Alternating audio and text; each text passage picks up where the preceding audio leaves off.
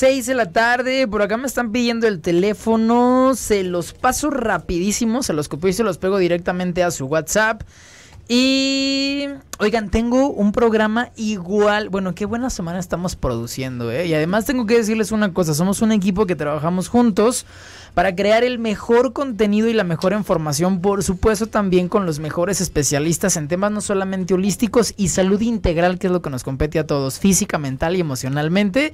Y del cuerpo físico nos damos directamente a la salud emocional y no solamente del individuo, sino transgeneracional, de todo lo que implica un núcleo familiar y de generaciones y generaciones que van dejando información en el inconsciente de cada uno de nosotros. De repente nos convertimos en adultos y bueno, tenemos podemos tener problemas en el tema de abundancia, en el tema de la salud, sobre todo y yo creo que el gran espejo y los grandes aprendizajes llegan con el tema de la pareja.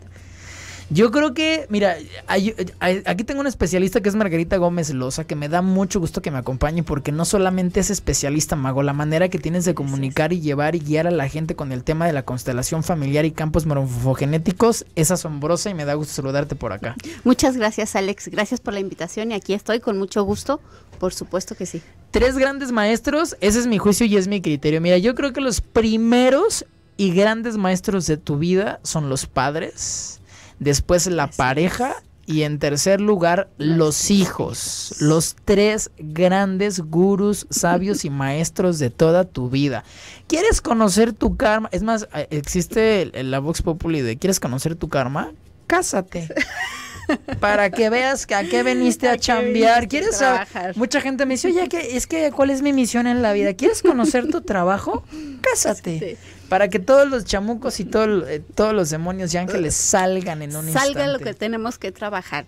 No es casualidad, Alex. Eh, yo digo que, que, vamos y justamente nos gusta, justamente nos atrae, nos enamoramos esa persona que nos va a hacer trabajar lo que tenemos que trabajar en nuestro sistema familiar. Híjole, oye Mago, em, esto nunca te lo he preguntado. Y es especulatorio porque vaya, todo lo que sustentamos los seres humanos en este mundo tiene que ver con la ciencia. Que yo la pruebo, ¿eh? Yo no estoy en contra ni de la medicina, no estoy en contra ni de los fármacos, solamente creo eh, más en los métodos eh, primarios, que son los métodos naturales, los rústicos, lo realmente lo, lo que te conecta directamente con los elementos. Em, el tema transgeneracional a mí me ha quedado muy claro y habrá gente que no pueda coincidir. Sin embargo, he tenido la oportunidad de estar en muchas constelaciones familiares. Yo propiamente he sido parte de estas terapias. Son asombrosos los cambios que se generan en el inconsciente. También la manera en la que visualizas qué sucede en tu vida y en tu campo familiar. No se necesita ser sabio ni muy inteligente para darte cuenta de lo que tú ya sabes. Exactamente. No descubres nada. Ustedes como terapeutas básicamente exploran lo que uno mismo ya conoce, pero que a lo mejor en este momento, por no alguna circunstancia, no lo veo. Pero ahora te quiero preguntar algo, Mago. Y que me lo digas tu punto de vista también como terapeuta. Mira, parece que nosotros llegamos a este mundo en blanco. Sin embargo, los niños, yo, yo creo que desde niños venimos muy definidos en personalidad, en temperamento, en lo que queremos, en lo que nos gusta y en lo que no nos gusta. Pero tú crees que se hace un acuerdo antes de nacer ¿de dónde vamos a caer? Yo no creo que sea coincidencia que de repente lleguemos a un mundo con padres alcohólicos, en familias disfuncionales, con síndrome de Down, huérfanos, eh, o sea, con tantas características familiares. ¿Tú qué opinas de ese arreglo previo? ¿Crees que existe un arreglo anterior? Yo creo, Alex, que esto de la vida va un poquito más allá de lo que vivimos cotidianamente, el trabajo, el tener una casa, el tener un carro, el, celular de último modelo. Yo creo que va más allá nuestra misión en este en esta vida. Y yo honestamente sí creo, sí creo que haya un acuerdo, sí creo que haya algo. Si no es un acuerdo, es, es uno como con la vibración yo creo que en la vibración este, nos vamos acercando a las personas o a los seres que nos van a ayudar a crecer o a experimentar esta, esta vida a, darnos las lecciones que tenemos o que tenemos que aprender o que tenemos que superar en esta vida. Yo creo que honestamente que vinimos a aprender. Hay niños que en este momento están en Siria padeciendo el hambre, eh, padeciendo la enfermedad, la muerte, eh, subyugando toda autoestima, toda dignidad humana, sin importar cuáles sean los motivos. Y en otro lado del mundo están creciendo niños con la misma edad y con las mismas características humanas, en abundancia, en plenitud, con una familia que los ama, disfrutando plenamente del amor y de su entorno. A mí me explicaron que Dios es misericordioso. Me cuesta trabajo creer que hay tanta misericordia cuando veo un niño en condiciones tan deplorables humanamente hablando de dignidad y cuando hay niños por otro lado desarrollándose de manera muy plena. Por eso es que yo creo que debe de haber algo atrás antes de que uno llegue para tener el padre, la madre, los hermanos y el entorno en el que uno crece y se desarrolla. Alex, pero además es maravilloso a cuántas personas en que vivieron o que nacieron en condiciones deplorables, este, conoces tú que ha salido adelante. ¿Cuántos de los grandes seres que tenemos en la actualidad vienen de condiciones sumamente carentes, sumamente tristes, le podríamos decir. De eso sale la virtud del ser humano. Pero ¿será que el dolor es la única vía de realización de virtudes? ¿Será la única vía que humaniza y sensibiliza al ser humano? No, no creo que sea la única vía. Por supuesto que no, pero es una gran vía es una trampa divina misteriosa y que pesa, ¿no? O sea, a veces tener que vivir la tragedia. Yo conozco grandes seres humanos que si conoces sus historias de vida, te puedes impactar. Exactamente, entonces es, eh, y, y hay vamos, que no son a lo mejor muy conocidos o que no son grandes héroes este, internacionales, pero platica con cada persona que te encuentras, escucha la historia y vas a ver, vas a ver la historia que han vivido a lo largo de su vida. Y, han salido adelante y han logrado estar bien. Por supuesto que muchos nos quedamos o se quedan en el camino, muchos eh, se atoran o se enredan o, o no logran ah, dar el salto pero muchos y la gran mayoría diría yo logran salir adelante. Logran salir. ¿Por dónde quieres empezar, Mago? Con el tema de información transgeneracional, que nos ha faltado de hablar en todos los programas que hemos hecho, de todo lo que heredamos, que creo que todo nos queda muy claro. Heredamos información positiva y negativa. Yo creo que tenemos que conservar lo positivo y reforzarlo y hacer consciente lo que no nos gusta o lo que no nos funciona para ser seres humanos plenos. Claro que sí, claro que sí, Alex. Este, pues no sé, creo que hemos hablado un poquito de todo. Ah, hemos hablado de los órdenes del amor que para mí son tan importantes, Alejandro, son básicos dentro de mi convivencia con cualquier tipo de persona, en cualquier tipo de relación. El orden, el, el saber cuál es mi lugar en cada relación. Oye, me botó aquí a la primera pausa, pero te voy a hacer otra pregunta muy similar pero esa te la hago regresando al corte. Si tienen alguna duda en el tema de campos morfogenéticos, hoy estamos hablando de toda la información que heredamos de nuestros ancestros, que a veces sin conocer el origen de todas esas cosas, puede, puede ser que haya un trabajo arriba que nosotros a lo mejor tengamos que resolver. Encarar o hacer consciente para que a través del amor restaure. Traerlo a la luz. Así, es. Vamos por la primera pausa, 5.14 de la tarde. Oigan, saludos a quienes nos escuchan en repetición muy, muy temprano. Y regresamos con más aquí a Saludablemente.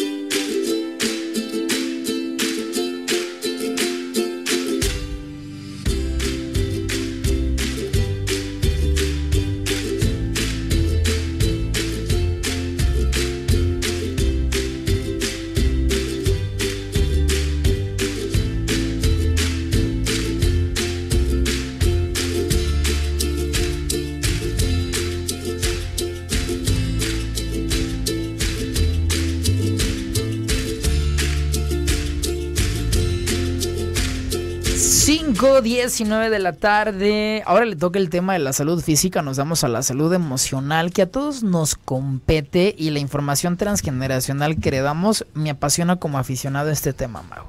Es impresionante que terapeutas como tú nos recuerden lo que ya sabemos, pero que está en el inconsciente y que en algunas veces puede afectar. En el primer bloque te platicaba si tú qué creías del acuerdo que tenemos antes de venir a este mundo. Digo, también depende de las características religiosas y la educación que tengas. Yo sí creo que hay un acuerdo. No me parece que sea coincidencia que tengan los padres que tengo, que ustedes que me escuchan tengan los padres que tienen, los hijos, la familia, las parejas. Creo que hay un acuerdo. A una colega tuya, que es, no es consteladora ni tiene experiencia en campos morfogenéticos, pero es psicóloga, hace un par de días le pregunté, le dije, oye, ¿tú crees que realmente tenemos un destino implantado? Y me dice, sí, era su punto de vista. Y le digo, ¿y crees que yo pueda transformar con el libre albedrío que tenga? Y me dijo, sí, pero la única herramienta que tienes es hacerlo a través del amor. Y me checa, o sea, me suena que yo puedo transformar cosas a través del amor. Eh, ¿Tú qué opinas? Y tiene, de eso? y tiene que ser un amor consciente, Alex, porque aquí en, en psicología transgeneracional sistémica decimos que todo lo que hacemos lo hacemos por amor. Esa forma inconsciente de ir a, conflictuarme la vida, esa forma inconsciente de actuar o de reaccionar que tengo, también lo hago por amor. Las lealtades que tenemos son por amor es por amor a nuestro sistema familiar. Pero mi maestro de constelaciones familiares tiene una frase, dice, del amor que enferma al amor que sana todo lo que hacemos los seres humanos de manera inconsciente con estas lealtades lo hacemos por amor. Yo no conozco a ningún padre que tenga toda la intención de dañar a sus hijos de manera consciente. No conozco a un hijo que tenga la intención de dañar a, sus padres conscientemente. Lo hará por error, lo hará por o lo hará, sus lealtades, lo que repite, eh, todo lo hace por amor, pero es un amor inconsciente, Alex, es un amor del que no no reaccionamos, no volteamos a ver, no nos damos cuenta. ¿Existen los padres que odian a los hijos? Yo no creo, Alex. ¿Crees que existan los hijos que odian a que los odian padres? a los padres. Yo creo que hay padres con conflictos en su infancia que no han logrado resolver y viene ahora que están frente a una infancia que son sus hijos y lo reviven. Eso es lo que yo creo, Alex. Y yo creo que hay hijos que no han logrado entender a los padres y que no han logrado ver un, uh, más allá, um, ampliar la mirada a ver la historia y entender por qué los padres actúan, por qué los padres son... agresivos, porque los padres son, uh, no sé, incluso hasta violadores. Cuando tú volteas y ves la historia, Alex, por supuesto que es, uh, te pones en otra perspectiva, lo ves desde un punto de vista diferente. Claro. ¿Sí me explico? Yo creo que eso es lo que hay. ¿Cuál será el primer sentido de sanación frente a mí y frente a mi núcleo familiar? Porque yo creo que todos desarrollamos conflictos dentro de nuestro núcleo con padres, hermanos, hijos. Inclusive a mí me ha tocado conocer familias que se llevan los conflictos a la tumba. Por 10, por 20, por 30 años que no se dirigen la palabra integrantes de la familia. Y se están muriendo y todavía siguen enojados, ¿no? Yo creo, Alex, que el objetivo es la integración. A mí me encanta esta materia, esta, esta área, y ya te lo había comentado de alguna manera, porque trata de incluir, de resolver, de conciliar. Ese es el objetivo. Y entonces, cualquiera que haya sido la, la situación, cualquier situación que hayamos tenido, tiene que haber un, un, punto en el que tú estés en paz, estés tranquilo. Aquí no le llamamos perdón, no usamos la palabra perdón porque creemos que cuando se usa la palabra perdón, el que perdona está por encima del perdonado. Y no estamos así realmente, realmente estamos al mismo nivel. Lo, okay. que, lo que decimos aquí es asentir al destino, que quiere decir aceptar el destino así como fue. Ahora yo soy consciente y ahora yo me hago cargo de voltear a ver y de resolver y de vivir como yo quiero vivir Eh, si, hay una información transgeneracional disfuncional por lealtades, y les voy a poner un ejemplo, hay familias donde todos los integrantes tienen sobrepeso, hay familias donde todos los integrantes tienen diabetes, y peor aún hay familias donde todos los integrantes padecen los mismos conflictos físicos, emocionales de pareja, de madres solteras, y no porque tengamos un prejuicio con las madres solteras, sino porque, vaya, parecen que son patrones repetitivos entre todas las integrantes mujeres de un núcleo.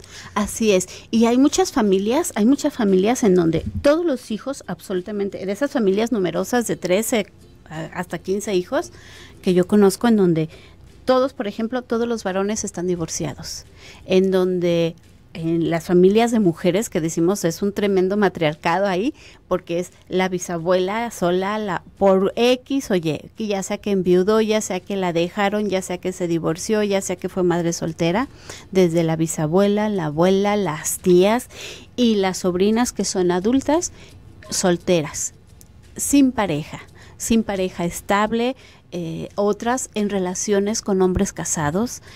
Y esto se viene repitiendo ¿quién se da, la persona que se pone a cuestionarse y voltea a ver y empieza a hacer un trabajo personal, es la que empieza a romper con los patrones. Oye, eh, eh, no, no es desleal renunciar a los patrones disfuncionales de tu familia o con qué carácter consciente renuncias de decir yo los amo. Oye, yo tengo un amigo con sobrepeso que bajó 60 kilos. Imagínate lo que es bajar 60 kilos. Y en su familia sufre rechazo porque, ya no es obeso. Ah, es, nosotros hacemos ah, rituales, oh, les llamo así rituales, que no son otra cosa más que conciliarte, Alex, conciliarte con tu sistema familiar. Tu sistema familiar te ama profundamente y entonces quiere lo mejor para ti. Lo que tú hayas recibido de tu sistema familiar te ayudó a llegar hasta el momento en que estás ahorita. Entonces hay que agradecerlo, bueno o malo, como quiera que sea, te ayudó a estar aquí y hay que honrarlo y agradecerlo. Y entonces pedir permiso o, decir, gracias por esto que me diste, gracias por esto que obtuve de ti, pero ahora permíteme hacerlo de una manera diferente. Oye, la constelación familiar, Mago, eh, creo que solamente hablamos del núcleo, pero ¿qué pasa cuando yo tengo rencillas fuertes con otro ser humano? Que a lo mejor no, no tiene mi apellido, quizás no tiene mi sangre, pero somos de la misma especie. ¿No hay una constelación mundial de todos los seres humanos que estamos conectados? Por supuesto que sí, Alex. Déjame te digo, nuestro sistema familiar eh, más cercano, pues son, ya sabes, este, los, los directos en sangre, ¿no? pero todo aquel ser, toda aquella persona que influya en tu forma de vida, en tus emociones, en tu sistema familiar, forma parte del sistema. Forma parte el doctor que le, salvó, le salvó la vida a tu mamá, si cuando te parió, por ejemplo, iba a morir y le salvó la vida. Bueno, él forma parte de tu sistema. También forma parte de tu sistema familiar alguien que haya asesinado a un hermano, a un primo, a un tío, también, porque vino a cambiarle el sistema, vino a cambiarle la vida a todo el sistema, ¿sí me explico? Claro. Entonces, un ladrón, un ladrón que viene y, hurta las cosas de, de, tu sistema familiar, viene a formar parte de tu sistema. ¿Por qué? Porque hace que tu sistema familiar tenga una vivencia diferente, una vivencia fuerte, que cambie la, forma de vida. ¿Sí me explico? Influencia. Entonces, a final de cuentas, Alex, a mí me encanta esta, esta parte de todos somos uno. Cualquier cosa que yo le haga a otra persona en perjuicio, lo hago también para mi sistema Contra mí mismo. Así es. Oye, yo en estas generaciones no hago que también lo hemos platicado, veo muchos patrones, sin generalizar, porque hay gente que es muy plena, que vive plenamente en pareja, hay gente que se realiza en pareja, hay gente que se realiza soltera, hay gente que se realiza con hijos, hay gente que se realiza con la profesión y creo que eso es muy respetable. Sin embargo, yo así lo percibo. Yo en esta última generación veo muchos padres ausentes. Fíjate, yo tenía tres, ahora tengo cuatro amigos que han perdido la vida por suicidio. Cuatro. Ah. En noviembre pasado, fue la última y es una chica. Son tres chicos jóvenes y una chica en noviembre. O sea, ya son cuatro y lo voy a seguir sumando de aquí hasta que yo esté al aire. O sea, eso me impresiona. Y las características que yo veo en estos cuatro chicos tienen que ver con, con una de las dos figuras ausentes, que me parece que es un patrón muy repetitivo. No sé si se trata de esta época o de esta generación o siempre han existido los padres ausentes. ¿Esto se puede trabajar desde el aspecto transgeneracional? Sí, sí se puede trabajar, Alex. Y, y son los padres ausentes, a veces están físicamente, pero más que físicamente, Alex, son los padres ausentes en mi corazón son los padres ausentes desde mi percepción, desde cómo yo me siento al respecto. Por supuesto que se puede trabajar, por supuesto que se puede hacer algo, por supuesto que podemos cambiar la perspectiva de cómo yo veo la vida, de cómo yo lo vi. Eh, trabajamos principalmente en nuestras creencias, en nuestro modelo, en nuestros paradigmas. Entonces, es mucho eh, lo, lo hacemos mucho, vivimos mucho respecto a mi perspectiva a la vida, respecto de cómo yo veo las cosas. Entonces, en, en, constelaciones familiares me hace ver un ángulo, me hace ver desde un ángulo que yo no había visto, que yo no había volteado a ver. Claro, los voy a invitar a que se comuniquen si tienen alguna pregunta, si alguien tiene o se ha presentado, se ha enfrentado a una situación que a veces no le encuentras explicación, a veces esos patrones están en el inconsciente que reaccionas de esa manera sin darte cuenta que es un patrón familiar. Así es. Muchas tristezas, Alex, muchas tristezas, muchos enojos. Uh, las venimos uh, repitiendo de manera heredadas. No son emociones nuestras, son emociones heredadas. Muchos hijos enojados con papá o con mamá no es su enojo, es el enojo de papá o de mamá o de la abuela. Sin embargo, se manifiesta para restaurarse. Por supuesto, por supuesto. Entonces hay que voltear a ver. Uh, tengo una paciente que me pregunta, es que no sé por qué estoy tan enojada, decía, no sé por qué estoy tan enojada, no me ha hecho nada y no lo puedo ver. Y entonces empezando a revisar, empezando a revisar, ah, nos dimos cuenta que no era su enojo. Se llaman sentimientos adoptados. Qué fuerte. Así es. Vamos por la segunda pausa, 5.31 de la tarde. ¿Quieren compartirnos su historia? Que siempre les agradecemos mucho cuando nos abren sus vidas y sus experiencias. Les doy teléfono WhatsApp 3310 190712 y seguimos con más. Sus preguntas regresando el corte aquí a Saludablemente.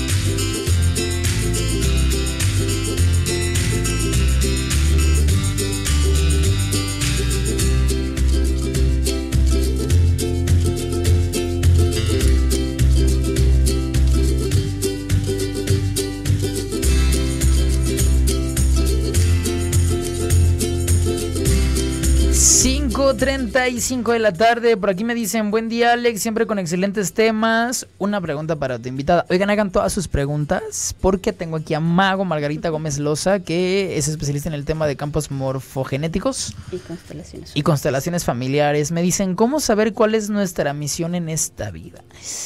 Se las contestamos. Cásense. Y todo se revela. Otra pregunta. Ayer gané un libro. ¿En qué días y horarios puedo recogerlo? De 10 a 2 y de 4 a 6 de la tarde. Oye, yo nunca me hice cuál, esa pregunta de cuál era mi misión, ¿eh? Digo, no porque lo sepa, sino porque, pues, em, vaya, no es algo que me haya cuestionado de que, oye, ¿qué tengo que hacer? Creo que es tanta chamba la que tenemos. Voltea a ver eso que se te dificulta voltea a ver eso que te cuesta trabajo, voltea a ver eso que te duele, eso que te enoja, y yo creo que por ahí está el... Todo lo que te incomoda, todo lo que no te gusta, todo lo que no toleras, todo lo que no soportas. Así es, por ahí, por ahí va a estar tu respuesta. Mira, yo creo, les voy a compartir, yo creo que todos tenemos una misión de vida sublime, como una entidad eh, cualitativa o cuantitativa de la divinidad Creo que nuestro deber es autorrealizarnos. Por, por ahí la línea humanista de la psicología explica que todos los seres humanos tenemos la condición y la predisposición natural de estarnos autorrealizando, de encontrar la plenitud, la, de, ser siempre mejores personas. Y creo que lo que evoluciona es la conciencia. Así es, efectivamente. Entonces yo, yo creo que tenemos una misión divina que es autorrealizarnos plenamente en todos los ámbitos y evolucionar recolectando experiencias para que nuestra conciencia se transforme. Y a mí me gusta mucho ser, ser muy realista. No nos perdamos, no somos solo luz, no somos solo virtudes, no somos tenemos una parte de luz y tenemos en nosotros una parte de sombra todos, no hay uno que sea solo luz y tampoco hay uno que sea solo sombra. Entonces, hay que reconocer mi sombra, hay que ver eso que a mí me cuesta trabajo, eso que no me gusta, eso en donde yo soy mala con M mayúscula. Mala me refiero a que a que me duele, a que me enoja, a que protesto, a que, ¿sí me explico? Claro. A, que lo hago con, con la intención y, hay que reconocérmelo y hay que verlo y hay que saber vivir con eso tratando de lastimar lo menos posible. Ok, mira, por acá me dicen... me están pidiendo el teléfono de Pedro. ¿Quién está muy calladito? Ah, don Carlos Vázquez. Me dice, hola, ¿me apoyas con el teléfono del anterior? Sí, ahorita se los paso, Pedro Gutiérrez, para que lo contacten. Me dicen, Alex, buenas tardes, como siempre, buen tema, ¿me puedes pasar el número? Claro. es que fue la sensación, don Pedro, aquí a todos nos estaba alineando. Este, me, me pregunto... Mira, tengo una pregunta a la invitada. Mi esposo hace días le dijo a mi hija que él duda que sea su papá. Mi hija sufrió mucho e incluso le dijo que sí quería la cortaran como terminando con toda comunicación. Me pregunto, ¿será que no quiere a sus hijos o qué pasa? Él tiene un amante hace 10 años. Oye, qué fuerte. Mira, también te voy a decir una cosa, es depende también de cómo percibas la información, ¿no? Así es, por supuesto. Y, y yo te pediría o yo te diría a ti, mamá, que, que indagues un poquito en la historia de papá que indagues un poquito qué pasó con él, cómo vivió su relación con su mamá, con su papá, eh, y ahí vas a encontrar muchas respuestas. Con mucho gusto, si, si, si quieres, háblame por teléfono y, platicamos y empezamos a revisar. Y por supuesto, hay que hablar con tu hija. No sé cuántos años tenga tu hija, pero independientemente de eso, es, es importante, para ella es su papá, como quiera que sea. Y ella tiene que tener en su corazón esa relación sana independientemente de que si él quiere o no quiere cumplir con esa función, ella debe tener, ella debería de tener su relación, sana. con la figura paterna. Oye, que yo creo que muchos, a pesar de que amamos a nuestros padres, no tenemos una relación tan sana y tan amorosa desde nuestro corazón con nuestras entidades. Así es, y, la podemos tener ahorita como adultos, pero hay cosas de niños con las que no Ah, estuvimos muy, muy de acuerdo a lo mejor que, que no hemos resuelto. ¿Y cómo nos damos cuenta que hay cosas que no hemos resuelto? cómo reaccionamos cuando nos enojamos, cuando nos hieren, cuando nos sentimos vulnerable. Hay que voltear a ver quién es el que reacciona, el adulto o el niño haciendo berrinche, o el niño herido, o el niño abandonado. Es muy importante reconocernos eso en nosotros. Aquí me dicen, felicidades por el programa, porque a veces cuando estás constelando suceden cosas que parecen mágicas. Todo es magia. Ah, no es magia, es, es, bien importante esto. Hemos hablado, hoy no, hoy no hemos hablado de campos morfogenéticos, pero en los programas anteriores nos hemos pasado hablando de campos morfogenéticos. No hay magia, señores, todo está científicamente comprobado. Si alguien no ha, si el constelador no ha hecho los, los estudios o no ha tenido la preparación suficiente, podrá pensar que es como magia, pero no. Se llaman campos morfogenéticos. Eh, platicábamos en uno de los ejemplos, en una constelación que hicimos, había un representante que le dolía su pierna profundamente, que estaba con un dolor que le dolía, que le ardía la pierna cerca del tobillo sin saber nada, por supuesto, de quién, de quién estaba representando, se tiró al suelo del dolor y de repente la persona del sistema familiar de quien estábamos haciendo el trabajo nos dijo, ahí donde le duele a él, le dieron un balazo a mi hijo. Entonces, parece magia, pero no es magia. Se llaman campos morfogenéticos. Conectamos, hagan de cuenta, ¿recuerdan esos radiecitos que sintonizábamos? Claro. Este, manualmente. Lo que hacemos es como entrar en la frecuencia de onda, entrar a la información, al campo de información del sistema familiar y bajar la información y percibimos y sentimos cómo siente la persona que, que estamos representando. Pero es solamente mientras nos sintonizamos, que quede muy claro. ¿sí? Oye, Mago, me tocó el caso de dos hermanas ya mayores, una tiene 96 años y otra tiene como 94. Son dos hermanas muy muy unidas, señoras ya de la cuarta edad.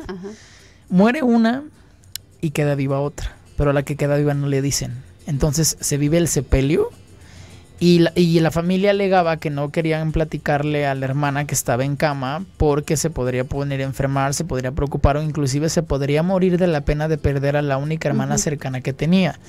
Desde mi punto de vista ingenuo e ignorante, me parece terrible hacer eso con cualquier individuo, privarlo de despedirse de su hermana independientemente de la condición. Entiendo que la familia por cuestiones de salud permita omitirlo. ¿Qué opinas en esos casos? Yo opino que es el mayor error que podemos cometer. A veces como hijos hacemos también eso con nuestros padres, para que no sufra, para que no se enferme más, para que no empeore. Si algún hermano o algún otro hijo muere y, y se le oculta la verdad. Nuestros ancianitos son más fuertes que nosotros, por Dios. Más fuertes de lo que creemos. Respetémoslos, démosle su lugar tienen derecho a saber la verdad. Oye, además en el inconsciente ella tiene que saber. Por supuesto, ella tiene la información. No sabe exactamente qué pasa, pero por el actuar de todo el sistema familiar, ella sabe que algo raro hay. Y eso es más feo, esa incertidumbre es terrible es más feo que saber la verdad. Inclusive me ha tocado a niños que les ocultan las muertes de los padres y que crecen con unos traumas terribles. Por supuesto, porque no se oculta, nada se oculta. Déjenme les digo qué es lo que pasa. Todos esos secretos de familia, todas esas cosas que queremos que los demás no se enteren y andamos Ah, son secretos a voces. Y con los pequeñitos lo que pasa es esto, hagan de cuenta que se hace, está el hecho, ¿no? Un hecho, un hecho terrible, el que ustedes quieran, una muerte de un papá, por ejemplo.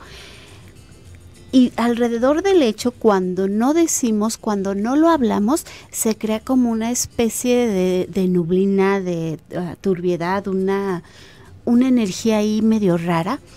Y, y tanto es así observen ustedes, cuando alguien va a tocar el tema que no queremos que toquen, volteamos a ver, hacemos señas o damos codazos, etcétera. Y entonces a la persona que le estamos ocultando se da cuenta, percibe eso, pero no sabe exactamente qué está pasando. Entonces es una incertidumbre peor que si supiera la verdad.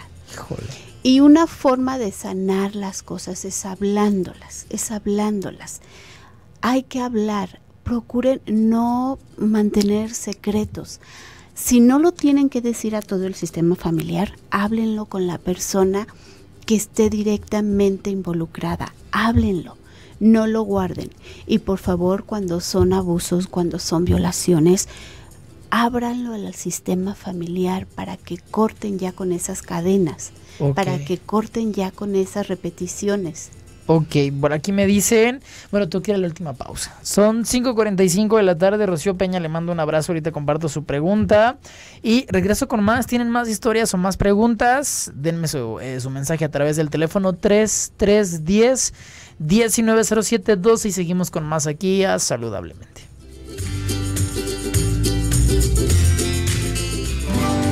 Si deseas conocer la práctica de yoga, envía un WhatsApp a Dharma Yoga 33 15 47 33 19.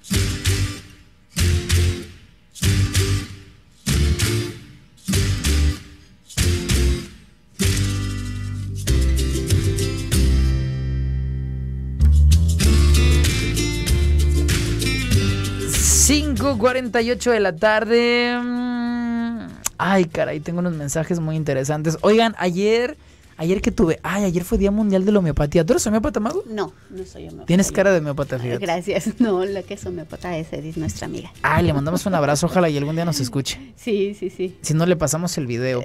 Ayer 10 de abril se celebró Día Mundial de la Homeopatía. No alcancé a leer porque me dejaron muchísimas llamadas, pero les voy a dar lectura a todas las de hoy. Me dicen... Fíjate, buenas tardes, buen tema. Mi esposo tuvo un hijo antes de casarnos y en su familia todos sus hermanos tuvieron hijos antes de casarse y otros fuera de su matrimonio, que yo creo que ahí puede ser un patrón peculiar de un núcleo familiar. Y los sobrinos están repitiendo el mismo patrón. Tienen hijos y siguen solteros. Yo no quiero que se repita la historia con mis hijos, pero yo qué puedo hacer para cortar con eso. Mi esposo es el que tendría que hacer algo. ¿Quién trabaja ahí, Mau? Trabajan los dos. Tú directamente aceptando al hijo de tu esposo, llevándolo a casa, hablándole a tus hijos de su otro hermano, porque a final de cuentas es su hermano, y dándole un lugar en su vida. Si tú no quieres que tus hijos repitan la historia, integra a ese miembro de la familia. Ok. Alex, saludos para ti, para tu invitada. Muy interesante tema. Brevemente les platico que mi hijo, cuando tenía cuatro años, platicaba a mi esposa que él recordaba habernos escogido desde antes de nacer. Que estábamos mi esposa y yo en una cajita transparente y ahí nos vio. Y luego subió y vio a su hermana menor y también le escogió entre muchos otros bebés. Hoy a los cinco años no lo recuerda más. ¿Habían escuchado algo como esto? No, yo he escuchado unas historias no, hombre, que se van para atrás y que han sido documentadas, ¿eh? Sí, y muy curioso porque ahorita pareciera que los niños ah, pueden conservar más su memoria. Los niños de ahorita traen más fresca esa memoria. Sí, ah, se han documentado casos de niños que recuerdan, eh, pero con el tema de vidas pasadas. De vidas pasadas. De vidas pasadas. Hay un niño en los Estados Unidos que él decía haber estado en la Segunda Guerra y les dio indicaciones de cómo llegar a un lugar y encontraron las características que el niño daba que eso ya es muy asombroso. Puede ser especulatorio, pueden coincidir o no, pero pues es información que existe, ¿no? Sí, sí, sí. Yo sí creo que hay acuerdos. Yo también creo, yo creo que hay algo más, algo más que tenemos que hacer en esta vida. Y además, mira, a veces de repente eh, creo que somos como seres humanos muy injustos porque actuamos a través del ego. Entonces, eh, creemos que toda la felicidad, bienestar y plenitud tiene que ver con la abundancia económica. Y a veces eh, los grandes desaires o desaciertos que nos da la vida o tareas que aparentemente parecen disfuncionales son las grandes bendiciones que te transforman como un extraordinario ser humano. Así es, así es lo que nos hace crecer realmente, Alex. Aquí me dicen, buenas tardes, ¿me podría servir una terapia de constelación? No puedo dominar el poder manejar, me da mucho miedo y he ido a varias terapias para dominar eso y nomás no se puede remediar. Puedes encontrar respuestas, sí, sí puedes encontrar respuestas. En la práctica y la, la enseñanza la tienes que trabajar, pero puedes encontrar respuesta si hay un miedo o una lealtad o algo que te está impidiendo manejar en este sentido, sí podrías encontrar una respuesta. Otra pregunta bien interesante. No he logrado tener una pareja. Tengo 47 años, nunca se quedan conmigo. Trabajo, soy guapa, gano bien, tengo casa, auto, en fin, una mujer ex no es la única, ¿eh? no se sienta única, es la historia de muchos que estamos aquí pero sentados y platicando con usted. ¿Qué pasa, Imagut? se puede voltear a ver, mira, cada no podemos hacer como recetas generales. Se tiene que voltear a ver las situaciones del sistema familiar. ¿A quién le estás siendo leal? ¿Cuál es tu forma de comportarte con tus relaciones de pareja cuando las tienes? ¿Qué buscas en ellos? ¿Qué das? ¿Qué ofreces y qué pides? Es, es voltear a ver. No, no hay una no hay una receta general para todos. Es cada caso es específico.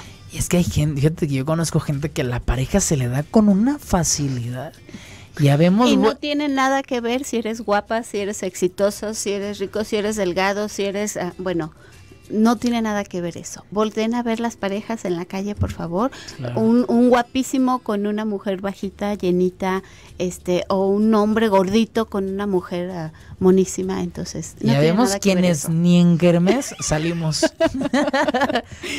Oigan, aquí me dicen, buenas tardes, quiero preguntar si las constelaciones es como si fuera una terapia psicológica o es anexo. Gracias y datos, por favor. Es una terapia psicológica. De hecho, yo he escuchado que una constelación familiar equivale a un año de terapia, una cosa así. Sí, porque encuentras muchas encuentras respuestas muy rápido. Eso, eso es lo que nos ayuda a las constelaciones familiares. Encuentra respuestas muy rápido. Y entonces, una vez que tienen las respuestas, lo que sigue es hacer el trabajo. Es como ya lo vi, ahora Claro. tengo que empezar a practicarlo, ejercitarme para hacer cambios. pues. Aquí me preguntan de registros akáshicos y es un tema del que yo no hablo porque te voy a decir lo que me dijo un maestro que tú y yo conocimos, que es el maestro José Marchele. Yo alguna vez le pregunté el tema de vidas pasadas y me dijo, mira, no se mete en líos. ¿Quiere conocer su vida pasada? Observe que, cómo está funcionando en la presente. ¿No le gusta su presente? Cambie en este momento sus circunstancias con su libre albedrío, conciencia y responsabilidad para que su futuro se transforme. Así es. Me quedó es. muy claro. No nos metamos, no nos metamos en embrollos. Tenemos suficientes cosas que resolver aquí y ahora. No podemos con el presente. Imagínate si, si- si es que nos escabullimos en el pasado. Sí, así es. Pero hay gente quien asegura, es especialista en estos temas. Y está bien, yo respeto. Pero en esta área es enfócate. Lo que sucede ahora, ¿verdad? Así es. Ok, oye, eh, un tema de ansiedad. Cuando, oye, cu- cuando el, a mí el tema de suicidio me cuesta mucho trabajo entenderlo. Mucho, mucho, mucho, mucho. El suicidio también puede ser una predisposición natural si existió arriba, o sea, si hubo eh, abuelos, bisabuelos, tatarabuelos que padecieron el... el- Sí, ¿El sí puede suicidio? ser. Sí, sí puede ser. Y en nuestro sistema familiar, hagan de cuenta que hay algo así como un libro de contabilidad, en donde al sistema no le importa el miembro que sea, no le importa si es hijo, si es hija, si es hombre, si es mujeres. Eh, es como si, si se hicieran las cuentas y si en mi sistema familiar hay un deber, tiene que completarse, tiene que equilibrarse y entonces hay que pagarlo. ¿Quién paga? En el sistema familiar podríamos decir, no importa quién paga, es el sistema familiar el que tiene que pagar y entonces de repente esas son las cosas que tenemos que voltear a ver. Voy- perdón, Mau, Eh. Te iba a decir, y, y eso, eso pasa de manera inconsciente. Hay que voltear a verlo para honrarlo, para traerlo, para darle su lugar y entonces cortar con las repeticiones, cortar con las historias trágicas. Ok, aquí me dicen, a mí me enoja, que es la última pregunta que leo, eh, que mi esposo hace 20 meses prefirió regresar con su mamá después de 20 años de matrimonio. Con él ya son seis hermanos que se separan, ahorita otro de sus hermanas trae problemas matrimoniales y su mamá dice que ni modo. Yo le digo, le he dicho a su esposo que tiene que romper con ese lastre que viven cargando, pero él dice que eso no tiene nada que ver. Alex, gracias por leerme. No, gracias a ustedes por mandarme sus, sus vidas y sus historias. Es, eso Hijos- que acabas de leer, perdón, te voy a interrumpir, eso que acabas de leer tiene que ver con los órdenes del amor. El orden. Es muy importante tener presente cuál es el orden. Yo como madre tengo que ayudar a que mis hijos salgan y hagan su vida, no estarlos jalando a que regresen conmigo. Y yo como hijo tengo que darle prioridad a mi pareja y a mis hijos. Si yo estoy volteando para atrás y queriendo regresar con mamá, hay un enredo ahí para todos y todos por supuesto salen implicados. Híjole, es que son las, a veces son las lealtades que como hijos tenemos a los padres, ¿verdad? Así los es. cordones, um- oye, El lo- cordón umbilical que decimos que no lo... los millennials vivimos atorados de 30 años viviendo con nuestros padres, Así es. que no es sano para nadie, ¿eh? Efectivamente, ni para papás ni para hijos. Es, es parte, es parte a lo mejor un poquito de nuestra cultura mexicana, pero ahorita como que se está mm, incrementando eso, Alex. Entonces hay que independizarse, jóvenes, hay que independizarse, padres de familia. Dejen que sus hijos salgan y hagan su vida a su manera. Mago, regálame tus datos. Oye, ¿te- ¿hay talleres de constelaciones familiares? Sí, sí, sí. Tenemos, eh, vamos a iniciar precisamente el día 27 de abril eh, un taller de constelaciones. Todos los jueves vamos a estar trabajando. Te doy mi teléfono, es 33 34 88 88 34. ¿Me lo repites de nuevo, Mago? Con mucho gusto, 33 34 88 88 34. Ok, ¿alguna página donde la gente te pueda contactar? Ah, bueno, sí, está con mi nombre, Margarita Gómez Loza, esa es mi página personal, o tengo una que se llama Terapia Psicocorporal. Qué increíble. Oye, Mago, gracias por venir a platicar de campos morfogenéticos.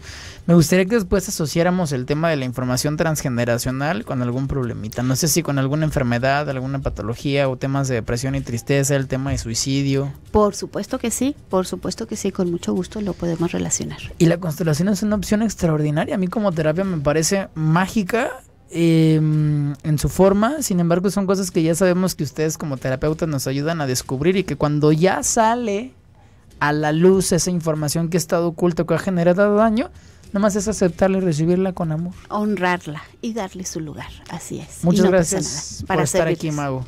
Gracias a ti, Alex. Salimos, ya son 5.59 de la tarde. Yo agradezco al equipo de producción que hace posible este programa. La señorita Gabriela Velasco, nuestra productora. El señor Arturo Cervantes, que le quedan bien poquitos días aquí en los controles. A la señorita Valeria en los teléfonos. Al señor Abraham Mendoza en el área digital de este programa. Yo soy Alex Sánchez. Quédense con Lupita Venegas en Desde el Corazón y tengan excelente tarde.